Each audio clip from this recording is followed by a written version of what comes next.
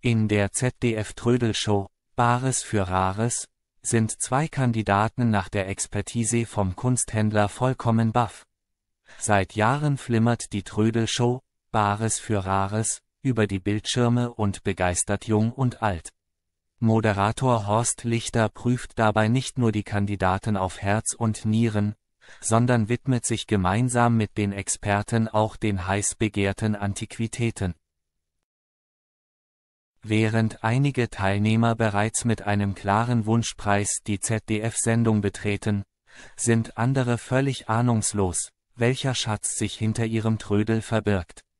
Da kann es durchaus passieren, dass man von der Expertise völlig umgehauen wird. Bares für Rares, Experte staunt nicht schlecht die beiden Freunde Annette und Thomas hoffen wie viele andere Kandidaten, ihre Antiquität bei Bares für Rares an den Mann bringen zu können. Im Gepäck haben sie zwei uralte Schreibmaschinen, die Annette von ihrer Tante geerbt hat. Kunsthändler Sven Deutschmanek nimmt sich der Rarität an und beurteilt den Wert. Der Experte schätzt, dass die Tipphilfe aus den Jahren 1890 bis 1910 stammt. Außerdem handelt es sich um ein deutsches und ein amerikanisches Fabrikat. Ein schönes Objekt, was für Sammler durchaus begehrenswert ist, wie Deutschmanek weiter festhält. Auch wenn die Schreibmaschinen bereits einige Jahre auf dem Buckel haben, macht die Expertise sprachlos.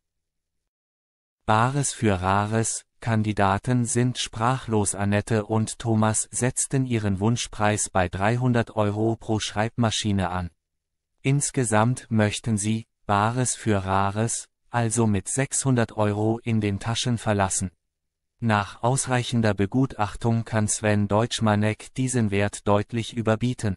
Er schätzt den Wert der Antiquitäten auf 1200 bis 1500 Euro.